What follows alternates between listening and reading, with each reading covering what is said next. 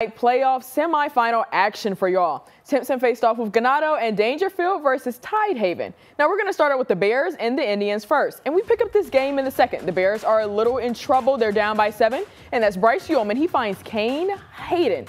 Timpson is now down by two scores. But they respond a long drive on the ensuing possession that ends with a dime from Terry Bussey to DeCorey Jackson. Touchdown for the Bears. It's now 21 to 14. And once the Bears get rolling, they cannot be stopped. We go to the third, tied at 21 now. Last play of the quarter, it's Bussey doing it himself that gives the Bears the lead 28 to 21. And they'd add some insurance in the fourth quarter scoring again, and they're headed to state 35 to 21. And Terry Bussey racked up five total touchdowns tonight, rushing for three and passing for two.